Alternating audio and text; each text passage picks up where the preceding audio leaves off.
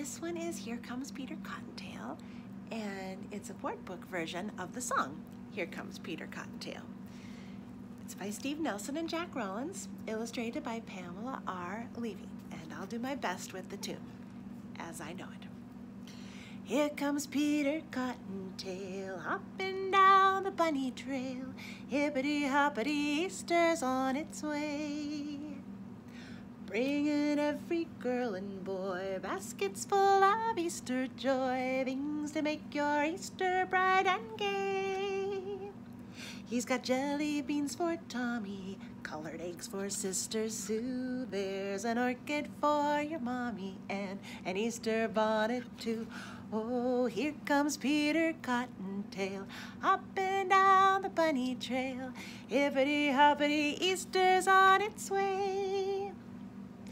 Here comes Peter Cottontail, hopping down the bunny trail.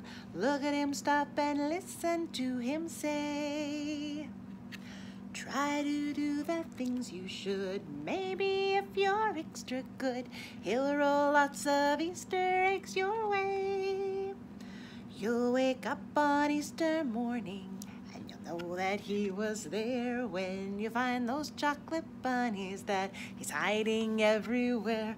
Oh, here comes Peter Cottontail, hopping down the bunny trail.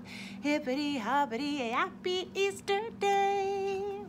And I should say that when I was little, my mom was the church organist and my dad was the church choir director, so there really weren't Easter egg hunts or baskets or any of that because it was a very busy day and people were kind of stressed out when they woke up.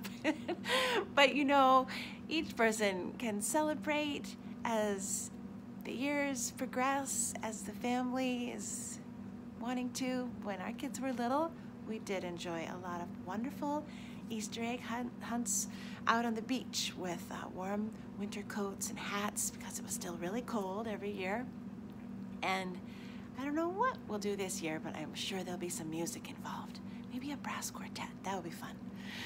I hope to see you soon at the library. Bye for now.